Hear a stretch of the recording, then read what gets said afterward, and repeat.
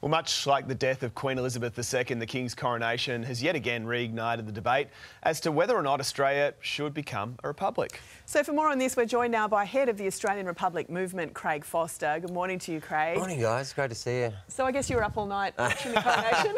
Cucumber sandwiches at the ready. uh, no, my, I can assure you, my oven at home wasn't troubled by a coronation quiche. But uh, no, I didn't see. it. But I've seen it all this morning, and look, there's no question, it's an incredible spectacle. That's for sure. It's it's amazing. I saw Katy Perry walking around trying to work out where she was going, and I thought that's probably what I would have been doing. hey, Foz, as part of the ceremony, um, we saw the PM pledge allegiance yeah. to, to, to, the King, an oath. Yeah. Uh, you've urged him uh, not to take part yeah. in. Were you disappointed? Uh, not that I'm disappointed. I think it's important for Australians to see that. Um, because, you know, this week we were asked to pledge allegiance as Australians yes. to our King. And um, it's important for Australians to see that, uh, to see what I hope and what you know the majority of Australia hopes, um, because the support for Australians' full constitutional independence has, has risen markedly in recent months, uh, particularly since the sad passing of Queen Elizabeth.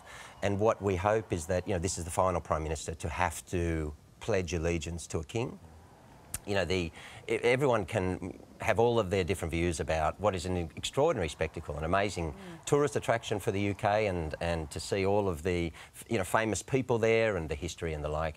But more Australians are questioning, you know, whether it's really representative of us anymore. It's clearly not, and really wanting to you know, break away and, and, and, and tread our own path, you know, whether that's with all of our uh, British traditions that, you know, we're respectful of, but to say that our head of state should actually represent us and they should be pledging loyalty to us. You know, to ask us to pledge loyalty to our actual head of state is a pretty incredible concept in 2023. So that's the pledge I missed last night. I was hoping that Charles would stand up and say, OK, I pledge my loyalty and allegiance and all of my heirs and successors to all of the people of Australia you know, that's what we expect from our head of state, and hopefully we can have that in the next few years going forward. He did say that he wanted to serve rather than be served, yeah. but, but that's not enough? Well, that's not the pledge. That's not what the pledge says. But um, you know, this is part of the history of you know the monarchy and uh, and of UK, of which they're clearly very proud. And um, you know, and it's remarkable for them to be able to put this in front of the world. But there are a lot of aspects of this ceremony as well, which are problematic uh, for many people across the Commonwealth, and we have to remember that. Um, mm. You know, it's not all benign. You know, there's there's a lot of people across the Commonwealth and First Nations and Indigenous peoples and and uh, descendants of slaves and the like, for whom this is actually, you know, really painful. Um, and it also represents a lot of suffering. I mean, the, the diamond in that sceptre, for example, the Cullinan diamond was, you know, it's called the blood diamond from South Africa. So there are elements of this which have, you know, greater import than just the wonderful pageantry, you know, which is, is quite extraordinary. So you know, Australia is a democracy, and so ultimately the democracy has to rest in the people of Australia. So is now the time to advance the conversation? Yeah. I, I, mean, yeah. what, are you, what are the plans yeah, of you and, and, and, fellow Republicans now? Great question, Clint. So the, the answer actually really is not, re not really, or, or no, and, and, that's because whilst we've seen incredible support in recent weeks, and particularly when um, Charles asked us all to take a knee, and asked our Prime Minister to take a knee, essentially, and pledge allegiance to him. Um, support for the Republic just went through the roof and our memberships and so on, and rightly so. But uh, this year's about the voice to Parliament and the referendum, and therefore, you know, First Nations really need our attention. The fact that the coronation happened this year is historically significant because they both come in the same year, mm. and so and they're they're very much interlinked. For us to be saying, look, what are we about today? You know, as as lovely as this might be, and and as I said, you know, for others, it's it's it represents uh, suffering, but um, you know, it's no longer a representative of Australia. You know, we've got over 300 cultural backgrounds in Australia here, and we're very proud of our multicultural demography. And let's not forget that many of those cultures, many of those communities in Australia also you know, have a complex history of legacy with the Crown, not just our First Nations, and we don't often hear from them.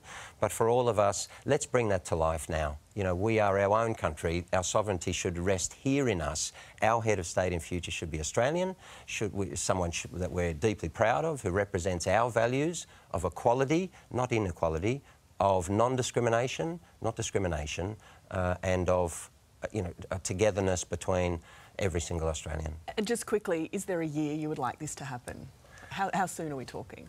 in the next couple of years. Um, you know, uh, Anthony Albanese's talked about a possible referendum in, in his second term of government. Uh, for now, everyone can go to republic.org.au and I urge you to do that because, you know, a new Australia is about a compact between all of us, recognising the truth of our history and bringing our uh, proud British traditions forward with us, but in their full complexity and truth. Uh, and and you know we're preparing for next year when we want to have this conversation with Australia and hear everyone's ideas, their concerns. Let's talk about what an Australian head of state looks like, and you know let's start moving forward. Hey Foz, thanks for being with us. No worries, my pleasure. Thanks, Craig. Welcome back to Weekend Today. It was a ceremony fit for a king and a queen.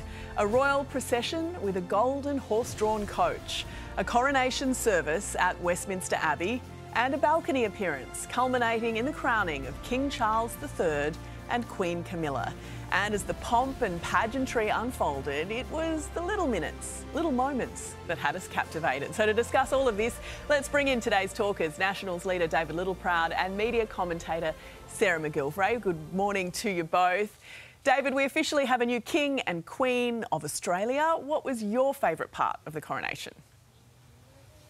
Oh, yeah, look, I think it's got to be that crowning moment. Uh, we, we, don't get to see that. In fact, it's taken us uh, 70 odd years to see uh, the next one from 1954 when it was last done. So I think uh, being able to see that uh, was, I think, the highlight. But the POMs do pomp and, and ceremony so well.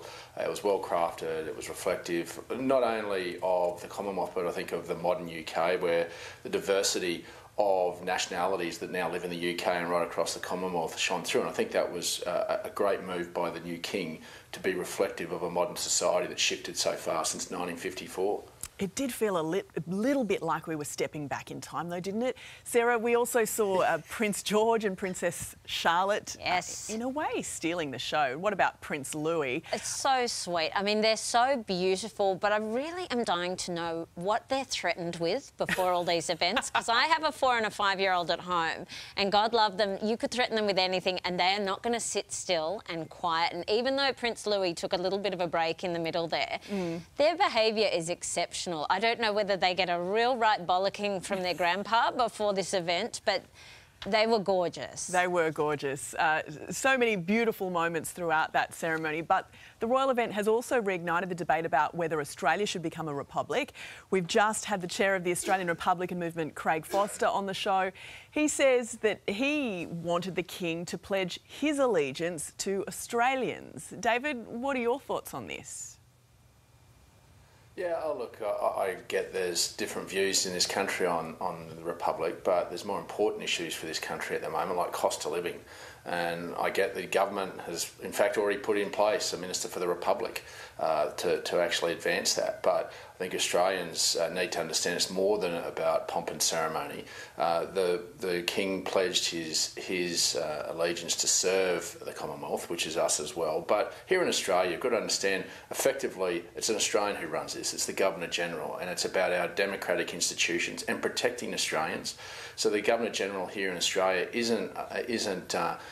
elected from a political party. It's actually kept away from politics so that he can make sure that the executive government and the parliament respects the constitution. And in fact, it's a safeguard that's been used as far back as 1975, where an Australian had to intervene, who was the Governor General, to make sure uh, that our constitution was protected. But he didn't. He didn't at that point um, make the final determination. It was also always the Australian people, and I think that's an important principle we've got to remember.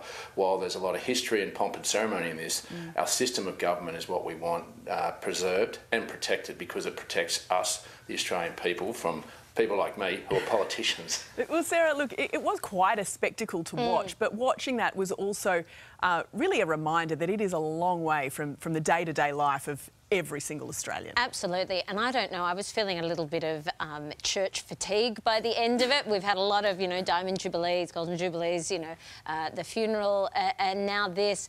I never, I think watching it, you felt a real disconnect almost to the world that they live in, and that's mm. fair enough. None of us are royals. But even as an Australian, thinking, this, this isn't representative of us, this isn't about us, um, and, and it's not. So, how much longer do we indulge and, and keep them as our head of state, you know? It's certainly going to be a conversation uh, in the next few years. Sarah and David, thank you so much for your time this morning. Hey there, Today fans. Sarah and What's my name again? Oh my goodness. Karl? Hey, thanks for watching our YouTube channel, though. Subscribe now for more news, special reports, and amazing Aussie stories. And Karl misbehaving, Whoa, of course. that never happens. always happens. What's she talking about?